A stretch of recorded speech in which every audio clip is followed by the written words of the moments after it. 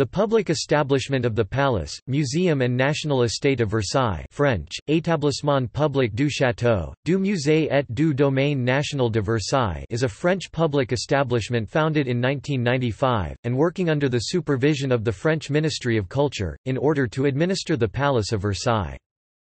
It is headed by Catherine Pegard, president of the public establishment, assisted by Beatrix Saule, as director of the National Museum of Versailles and Trianon.